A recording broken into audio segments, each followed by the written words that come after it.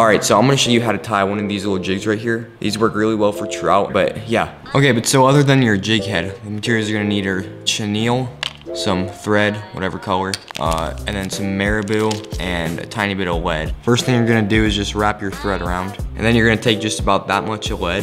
And then what I like to do fold it so that it's like two. I'll just tie that in and then I'll just fold that over. Okay, next you're just gonna break your wire off the tag ends, but now you're gonna add in the marabou. So the end of the hook is like right about there, but you want a decent amount of tail. So I like to add like about, about that much on and I'll just tie this in, cut this little tag end off and then you're gonna get about that much of chenille and then just tie it in on the back towards the tail. And then you're just gonna wrap your chenille around until you get to the head. Okay, now once you get to the head, just like do a couple wraps around in front of the chenille and behind the shield. Cut that chenille off and then do a couple half hitches. But yeah, if you wanna see any more videos like this, make sure to hit that like and subscribe button because it helps me out a lot.